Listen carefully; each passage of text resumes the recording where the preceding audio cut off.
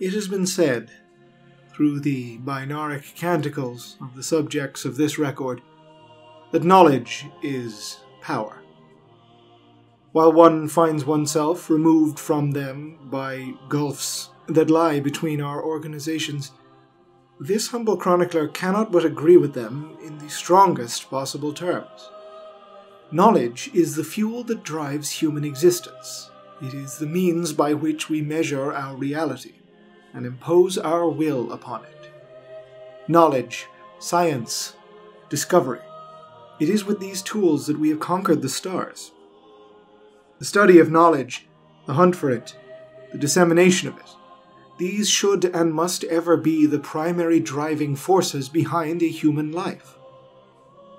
But we must also seek to understand ourselves, our own strengths and weaknesses, as much as the world in which we exist as fleeting mortal shells. These are, however, not the times for such talk, and one risks the scrutiny of the holy ordos for even expressing such thoughts let alone committing to record what I have recently committed. Were it not for the import of one's patron, and the material imparted upon these chronicles, it is likely I would exist only as a mind broken servitor, or simply as a red mist receding into the air. Mayhap this will eventually be my fate. Who can tell? Anyway, I digress. Despite these ever darkening days, there remain those who resist the encroaching blackness with the fiery torches of learning, who attempt to cast back the tides of ignorance with the weapons of pure science and intellect. Know then that this is a record of the origins and history of the priesthood of the Red Planet, the scions of the Omnissiah, Machine God and Motive Force. The origins of the Mechanicum of Mars. The roots of Red Mars are old, for man has walked on her surface longer than any other planet save Terra. From what can be discerned from the most ancient archives within the Imperium, the world saw its first human colonies sometime in the early third millennium, serving as a gateway to the expanded Sol system and providing much needed settlement space to the swollen populaces of Terra and Luna. Mars quickly became a destination of much of the system's natural resources, and over the decades developed into an industrial and shipbuilding nexus, swollen with the products of both planets' own resources and the plentiful supplies of the asteroid belt. The red wastelands of the world were transformed through human ingenuity into verdant green plains reminiscent of old Earth itself, while within its no longer domed cities, the citizens of Mars developed ever more advanced devices and technology for use throughout the steadily expanding human stellar empire. The fleets of the once red planet roamed the galaxy, bringing Martian industry and science to thousands of undiscovered worlds and fueling the exponential expansion of the species. Martian technology allowed humanity to become rulers of the stars. Their ships allowed for longer and further warp jumps.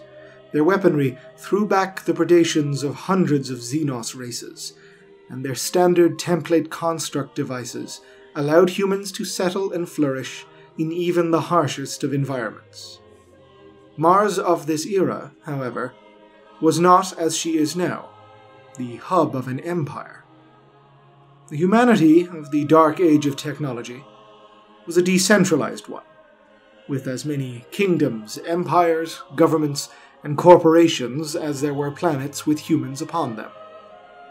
While Mars begat many a world in its own image, they owed little in terms of direct fealty to their birth planet, and Mars did not desire to exert formal control when the wealth of the galaxy was already flooding in through her spaceports, even if she possessed a unified planetary regime capable of doing so.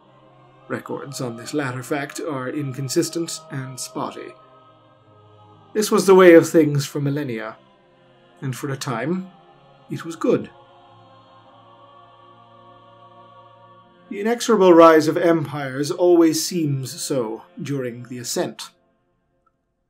For one doubts any of Mars's children could have foreseen the path their own hubris was leading them to. One doubts they could have seen any possibility of there being any error in their ways as they explored the deepest mysteries of the universe with a science unbridled by restrictive morality or petty concerns. Likely, they instead marveled at their own genius as they gave birth to artificial intelligence. This blasphemy stands above all others as the most damnable and wicked creation of the humanity of this time. For in their desire for leisure and ease, they created thinking machines to do their labors for them, so that they may spend more time contemplating the secrets of science or frittering away their lifespans upon idle desires. Whatever their purpose, the men of iron, born of the hubris of man, would ultimately lead to our cataclysmic downfall.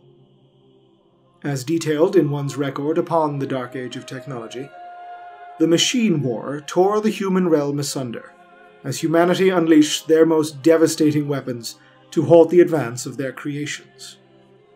Omniphage swarms devoured planets within hours.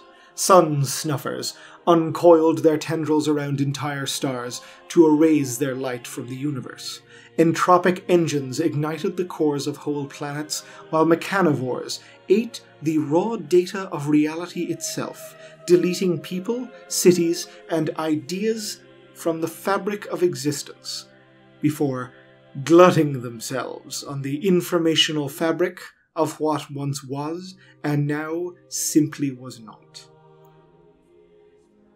The green plains of Mars were not spared this, and her crust was soon soaked in the blood of the cybernetic revolt as much as any of her colony worlds. By the end of the war, as she attempted to stymie the horrific damage the conflict had wrought, Mars would have to contend with an altogether different challenge the loss of her realms. In the depths of the Immaterium, a new, greater intelligence was stirring slowly beginning to form from the depraved activities of the Aeldari race. While it would be many thousands of years before the galaxy of real space would feel the full impact of this thing's birth, the warp storms of its gestation sundered what little remained of the human polities of the old alliances from one another. Sectors, systems, worlds all felt the horrible darkening of their galaxy. Navigators were unable to chart their paths through the now raging tides of the warp, heralding the true beginning of Old Night, the Age of Strife. Mars, struggling to heal in the wake of the machine war, was now removed from the vast network of supply she depended upon. For though the planet's terraforming had rendered her soil capable of sustaining life, she still depended upon the riches and resources of the galaxy, upon which to glut herself.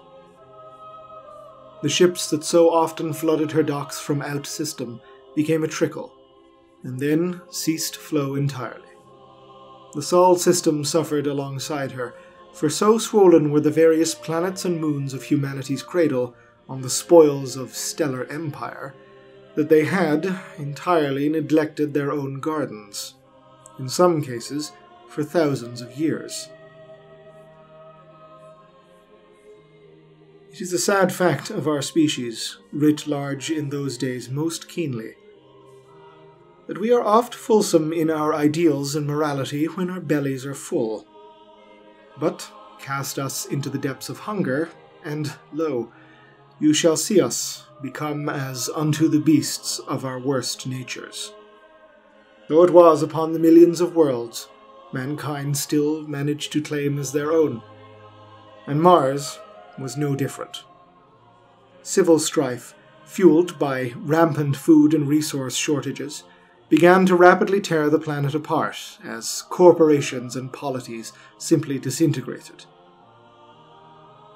Both damaged in the wars of before and neglected in the conflicts of now, the radiation shields built millennia before to terraform the wastes of Mars failed, one by one and the poisonous rays of Sol began to scour the vegetation from the surface. Within scant decades, the fragile ecosystem that had taken thousands of years to cultivate was simply stripped away. The effluvia of continental sized forges choked her veins. Mars returned to what she had always been a radiation bathed red wasteland. Albeit now, one filled with the decrepit remains of a once proud society, infested with rampant thinking machines, mutant slavers, and techno barbarian warbands. She and her twin, Terra, were mirror images of one another, conflict riven, radiation soaked, and desperately clinging to survival in a new dark age. Centuries passed. The planet putrefied, flagellating itself in rad soaked death throes. But then, in the failing, crumbling ruin of one supreme Martian industry, a new power began to emerge. In the tunnels of manufactorums and laboratoria, red clad holy men began to walk, taking with them a creed to the huddling, starving masses. They spoke of a divine trinity, of a machina deity they called the Machine God, his messenger in the world, the Omnissiah, and of the motive force, the heavenly power that animates all things. These were the first harbingers of a faith that would come to define Mars forevermore the cult Mechanicus. Adherents to the cult believe that knowledge itself is truly divine, a worldly manifestation of their machine god, itself not a crude, personified patriarchal god of old earth religions, but a fundamental, universal, deific presence. Technology is a means through which the machine god rules the universe, itself a macro scale mechanism, and all within it are simply devices extant within the universal engine, be they machines of metal or machines of flesh. Humanity is the machine god's chosen race, and unto it it has sent its omnissiah, the messenger prophet who will lead humanity upon divinity's path. In each and every device lies a shard of the machine god a machine spirit to be both worshipped for its nature and appeased to better ensure the correct fulfillment of its stated role within the universal mechanism. For the remnants of human life clinging to Mars, the cult was both savior and protector, but also destroyer. While the priests of the machine god offered succor and shelter to all who asked for it, it came at the cost of total obedience to the new order for some, it was a price worth paying for their continued existence. Yet this cannot, historically speaking, be the only reason for the cult's rapid rise to power. To survive the toxic wastes of Age of Strife Mars, humanity needed technology. The fires of millennia of war had done much to scour the surviving communes of the skills and knowledge needed to operate such devices. Technology was already something akin to a religion, the maintenance of precious life support systems barely understood and passed down through generations of dwindling engineers and savants, losing fragments with each passing year. The adepts of the cult mechanicum shared their knowledge with each other freely, pooling resources instead of hoarding it in the manner of the greedy warlords clinging to power in shattered hab domes. To the populations there, the Red Priests not only had the resources needed to save them, they also possessed something far greater technological mastery long thought lost. To many, it would indeed appear their machine god spoke and acted through them, and willing converts flocked to their banners. The new Mechanicum, as it became known, quickly established itself amongst more and more arcologies eventually becoming a political force strong enough to field full armies that it would not hesitate to employ against those who attempted to waylay their ascension, or attempted to silence the word of their god. With each new city that pledged acquiescence, the Mechanicum grew stronger, not only in numbers but in knowledge, for whatever archives or technologies the latest converts brought into the fold were immediately logged, digested, and distributed amongst the ranks for both study and implementation. Shards of information thought useless were combined with others to produce schematics and plans for technologies long thought lost.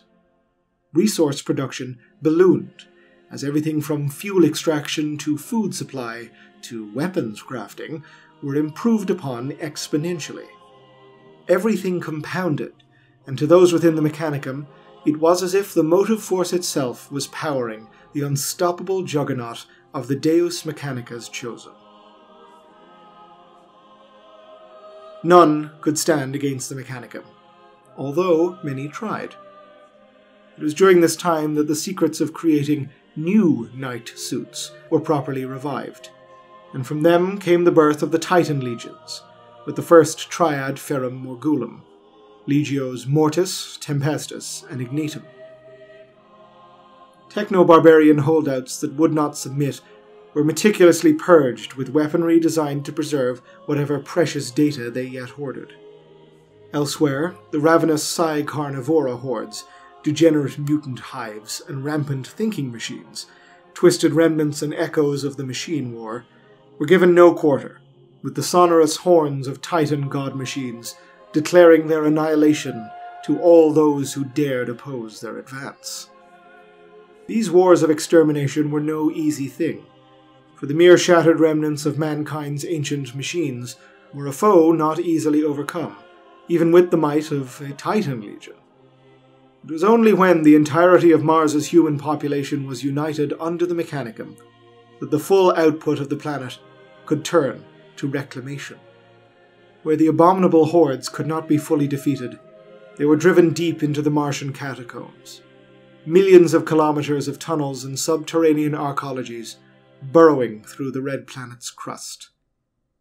Therein they were sealed by Mechanicum industry, locked forever in a lightless prison, the only entrances protected by the most advanced weaponry, annihilation code, and data djinn the priests could devise. There were some within the Synod that despaired at the loss of so much potentially valuable buried technology, but ultimately the decision was one based on logic, and the data spoke only of the absolute danger and horrific costs of full scale subterranean reclamation. The fledgling empire simply could not afford the cost. Expeditions could be mounted at a later date, however, as the Mechanicum had become, albeit unknowingly, the first unified planetary government the Sol system had seen in millennia. Instead of looking below, however, the Mechanicum would instead look up, to the stars, and humanity's lost stellar regime.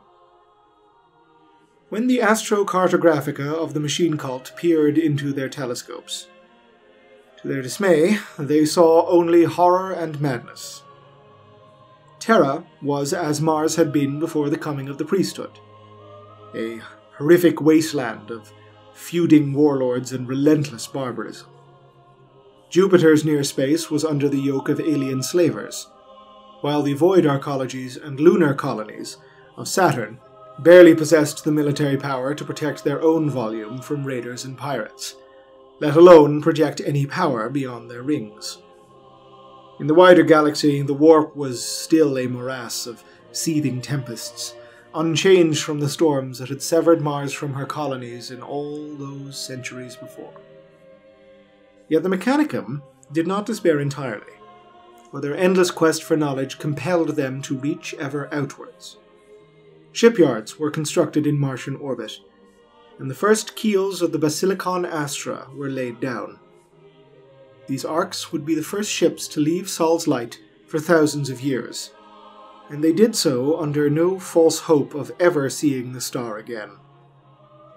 The expeditions, laden with all the material wealth, knowledge, and arms the Mechanicum could muster, had two goals to reconnect with the lost colonies of the Red Planet, and to establish forge fanes on whatever shores they would arrive upon. Many, so very many, were lost to the dust of history. likely split apart by warp squalls, their crew devoured by the predators of the Immaterium. Some would succeed, however.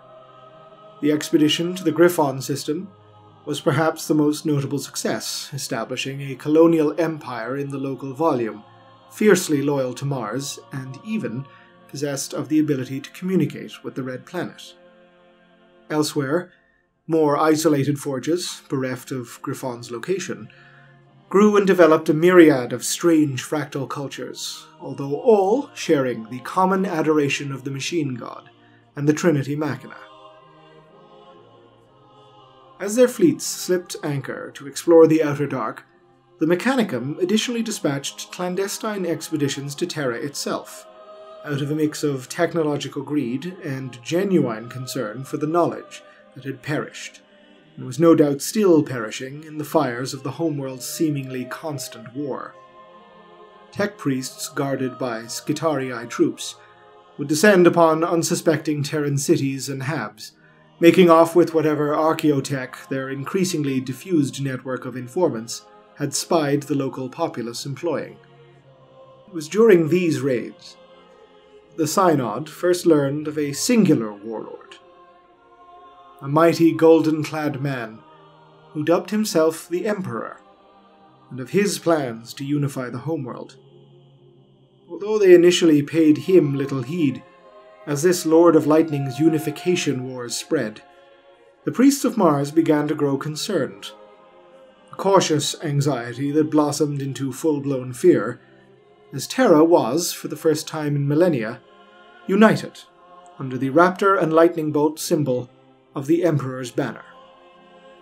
When Luna too was pacified, and the Selenar gene cults there, with whom the Mechanicum had cautiously traded technology, brutally brought to heel, the Synod girded itself for war. For it was clear this Emperor's ambitions would not cease on Terra. They were, after a fashion, not incorrect in this assumption. However, it would not be in the manner they expected. Records on just when the following events occurred are bizarrely unclear but it can be surmised that subsequent to the pacification of Luna by the 16th Legion Astartes in the 780s of M30, and entirely before the holologs state the Great Crusade was launched in 798 M30, the Emperor himself descended upon Mars in a starship of gold. Quite how the craft penetrated the defenses of both the Marshall orbitals and the Basilicon Astra without a single shot being fired is entirely unknown. But, seemingly unchallenged, the Emperor descended upon Olympus Mons, the seat of the Fabricator General of the Mechanicum himself. Records from the time speak of rain, the first rain in millennia, falling upon the Martian sky, as if Mars herself wept at his coming. While this could simply be the result of the incredible atmospheric disturbances caused by the planetfall of the Emperor's city sized starship. Its almost religious symbolism was incredibly potent for the priests of the Mechanicum. They possessed no technology like this, marveling at the wonders of engineering needed to keep this Golden Lord's craft afloat above the mountain. But this, quixotically, would pale in comparison to the miracle that would come a single knight suit of House Taranis, racing ahead of its fellows, came to rest at the ramp of the Emperor's craft, its ancient mechanisms fatally damaged by the dangerous ascent. The Master of Mankind himself approached the knight, and, placing a single hand upon the battered warsuit, healed its internal mechanisms making the thousand year old suit as new as if it had only rolled off the assembly forge. Word of the miraculous deed spread fast amongst the planet's noospheric communications, at a speed and efficiency only Binaric Cant could communicate. One word set the planet aflame, a word redolent with power to those within the cult mechanicum. Omnissiah. It appeared to most all that the earthly messenger of the machine god, its physical incarnation, had arrived upon Mars's red soil in the form of this Emperor of Terra. Mars knew well of psykers, for the Mechanicum had spent much of the Age of Strife rooting out its own degenerate Psyker covens and purging Martian bloodlines of those who displayed its dread mutation. The Synod Mechanicus saw the Emperor for what he was a Psyker, true, but one of absolutely unparalleled ability and majesty. It was not just the common folk of the planet who proclaimed the coming of the Omnissiah. For while the Emperor petitioned the Fabricator General Kelbor Hal for audience, the Synod of the highest Mechanicum Magi furiously debated it too. Unable to simply deny the Golden Lord, Kelbor Hal bid him address the Martian Parliament. The Emperor spoke of his ultimate goal. Just as Terra had been unified under his banner, so too would the stars, the galaxy itself, be united under humanity's rule. None would gainsay this manifest destiny, be they Xenos or human. The latter would perish, the former kneel. Should supplication not be offered, bolt and blade would make short work of any opposition. For the Emperor had at his behest twenty legions of the greatest soldiers ever to be created by the hand of man, the Legiones Astartes. The Emperor bade the Mechanicum join him, but not as subject, as allies. Two empires, united for the first time since mankind first breached the outer darkness. The union of the twin planets of Terra and Mars. The offer contained no explicit threat, but the Mechanicum knew well of the Emperor's legions, and of the sheer military magnificence and genius it would have taken him to win Terra. They were also not unaware that the Emperor came to them as an equal, not a tyrant, on the grounds that he dearly wished to avoid the horrific toll in manpower and material the subjugation of Mars would cost him. They also knew, for they had run scenario after scenario, calculation upon calculation, that they would lose such a conflict. Holy Mars would become another factory at this Emperor's disposal. Their society would be subsumed into his nascent imperium of man, their religion extinguished under the light of his imperial truth, their history erased, their great works rendered to dust. This particular assertion has been debated throughout imperial history. Certainly, imperial historians wish to believe that victory of the emperor was assured, whereas Mechanicus historians demur. It is the opinion of this chronicler that such a conflict would have ultimately, as said, led to the victory of Terra over Mars, although the impediments this would have put upon the eventual victory of the Imperium in the Great Crusade would have likely been so severe as to have almost not been worth the effort. The conquest would have taken decades, if not centuries. The cost, perhaps the sum total of all of Terra's potential resources, maimed as it had been by the Age of Strife. The point is almost moot. One could argue that the Emperor would lose by expending so many resources, that the Mechanicum would lose by simply opposing him.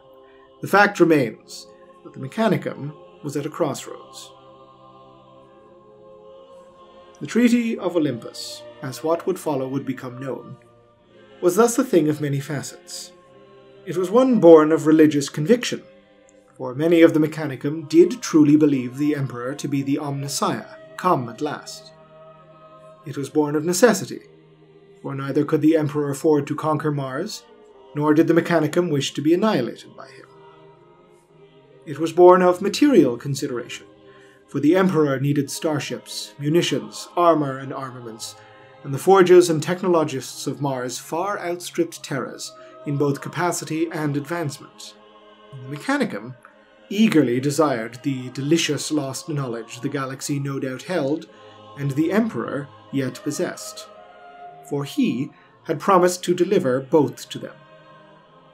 And finally, it was born out of a shared vision for human unity. This last point cannot be understated, for despite the obvious political considerations that went into the signing of the Great Treaty, we of this cynical age should remember that this was still an age of idealism. Hope and faith kindled anew in a grand unifying vision that our most beloved Emperor of mankind had at last brought to our species. He promised us the stars. It is hardly any wonder that the Mechanicum would wish to follow him there. There were, of course, other stipulations contained within the treaty. Mars was expected to arm the entirety of the Emperor's planned extrasolar expeditionary fleets, and consistently work to develop newer and better armaments for the Legiones Astartes and the Excertus Imperialis. It would also provide its own armed forces for secondment to these expeditions. The Collegia Titanica was levied, the god machines of the legios now bade to walk against the foes of man. The Mechanicum's multifarious tagmata would as well.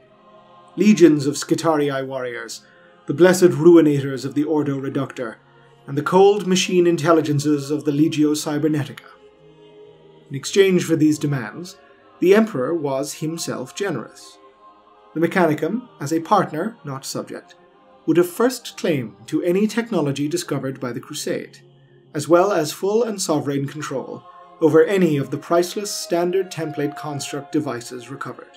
Additionally, to better outfit the Basilikon Astra in its quest for knowledge, the Emperor gave unto the Mechanicum six full houses of the Navis Nobilite, allowing the ships of Mars to sail with navigators once more.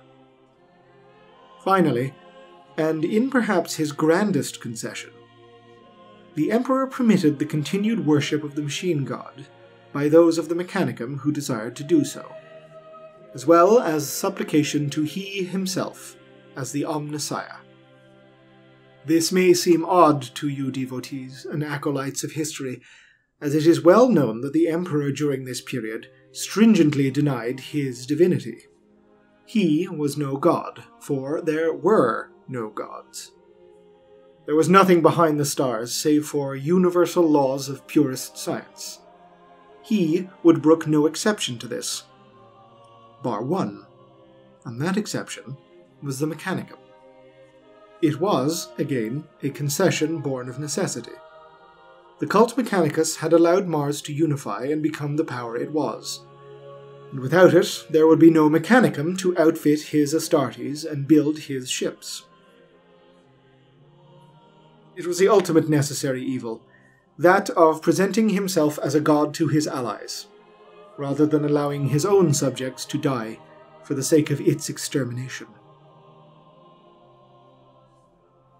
There were, however, final aspects of the treaty that were concluded in secret, between the Emperor and the Fabricator General personally. Shrouded at the time, these have become distinctly less so owing to the events that would happen not two centuries later.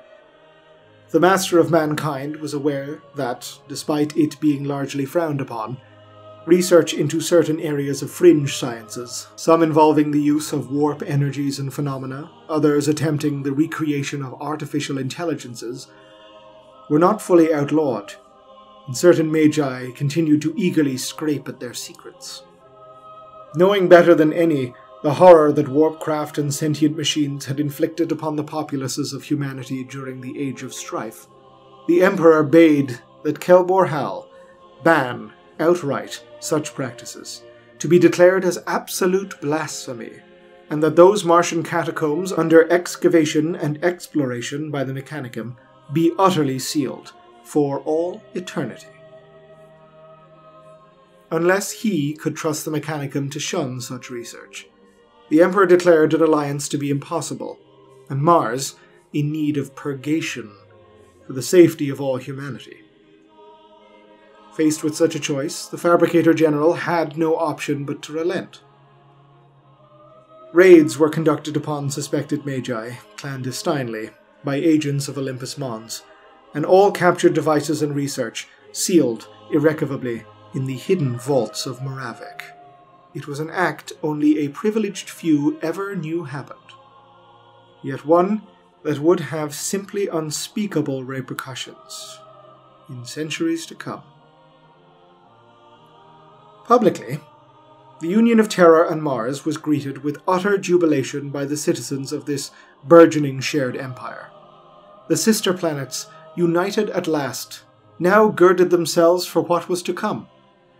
Nothing short of the greatest endeavor ever undertaken by humanity since the age of technology millennia before.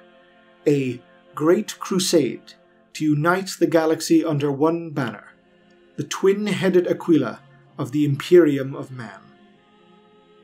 The rest, as it has been once said, is history. For further revelations upon the various tagmata, formations, and orders of the Mechanicum during the Great Crusade, as well as later histories of the Adeptus Mechanicus, please revisit this stack at a future date, as records will be forthcoming. Until such a time, Ave Imperator, Gloria, in excelsis terra. This video and this channel are made possible through the incredibly kind contributions of my Patreon subscribers. If you'd like to help support the channel, head on over to patreon.com forward slash Oculus Imperia. And if you're looking to keep in touch with the channel, get regular updates, you can follow me on Twitter at ButtStuffKaiju or check us out on Discord. A link will be in the description and on the channel page.